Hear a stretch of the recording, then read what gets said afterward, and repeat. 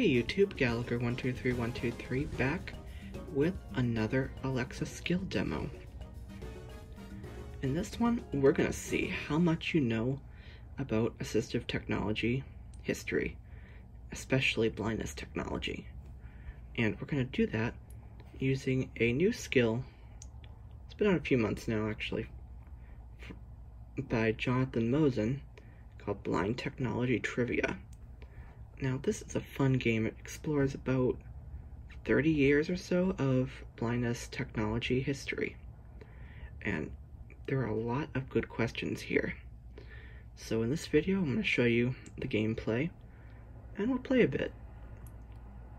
Now, I'll get a certain number, you know, a few right, and then we'll get a few wrong, too, so we get um, kicked out eventually, because otherwise I might be here all day because I happen to know for some reason a good number of these. So let's give it a go. Alexa, open blind technology trivia. Welcome to Blind Technology Trivia by Jonathan Mosen, the game where we explore 35 years of tech trivia from the blindness world. I'll be asking you some questions about the products and people in the blindness technology industry. Some are super easy, Others will break your brain. One to four players can play. How many are playing? One. Is this technology lover? Yes. Let's start. So what that was was answer nickname. quickly until you get three wrong. To undo an answer, say Alexa, undo.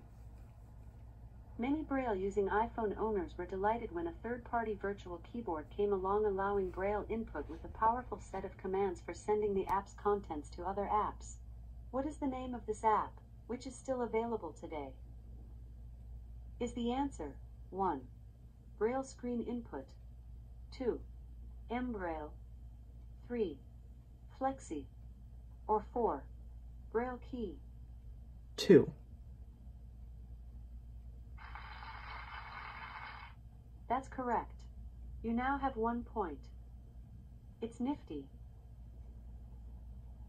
Next question. Tom, Samantha, Daniel and Karen are all members of which happy text-to-speech family? Is the answer 1. Neospeech 2. Natural voices 3. Vocalizer or 4. Eloquence 3. How do you do that? You now have two points. These voices are made by real people going into the studio and recording hundreds of hours of tiny audio fragments and common words. Dude, that's dedication. Next question. Pulse Data International is most famous for devices running Keysoft, but it also used to produce a DOS screen reader. What was its name? Is the answer 1. ASAP. I'm gonna get this one 2. wrong. Master Touch. 3. Tiny Talk. Or 4. Keynote Gold. 4.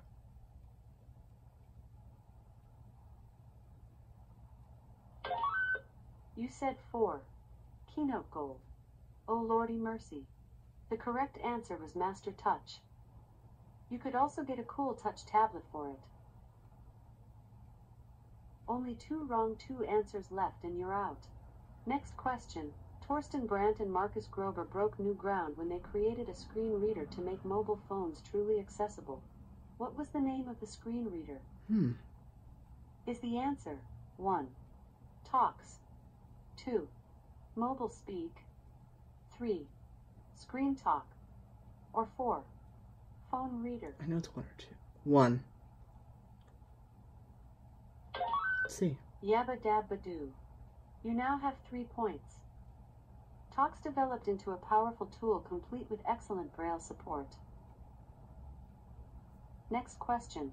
When did Apple build Braille screen input directly into iOS? Is the answer 1. 2010 2. 2012 3. 2014 or 4. 2015 4. Oh, whoops. I said the wrong one. You said I meant to say 3, but it's okay. I'd like to say yes, but I gotta say, on this occasions, no. The correct answer was 2014. That's right, that's what I meant to If you say. master it, it's super fast. Only one wrong one answer left and you're out. Do a Next few more. question. JAWS for Windows can be configured thanks to scripts. What was the equivalent feature in JAWS for DOS? Is the answer 1. DOS scripts 2. Macros 3. Set files or 4. Automations. Two.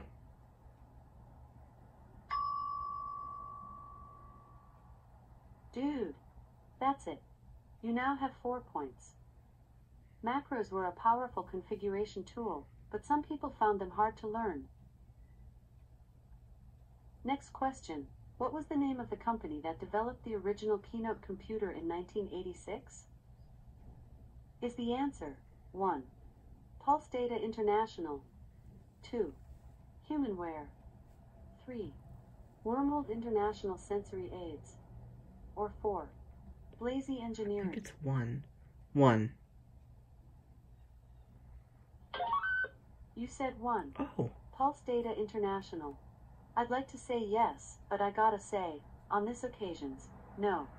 The correct answer was Wormald International Sensory Aids. Wormald International Sensory Aids was a company based in Christchurch, New Zealand. Founded by Russell Smith, it later became Pulse Data International.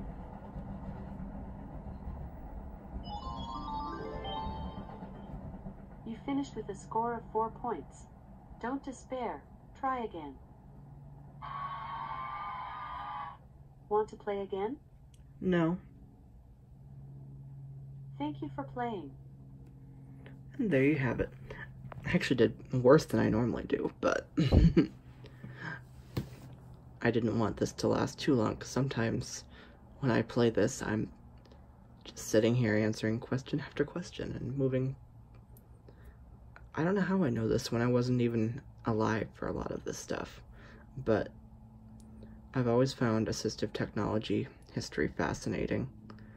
And so this is a cool little skill to learn some more about it.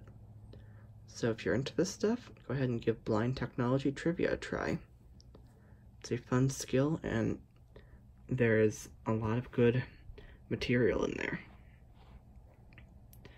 So hope you've enjoyed this little demo of blind technology trivia. And I'll see you in the next video. We hope you have enjoyed this video. If so, please subscribe for more, and feel free to comment.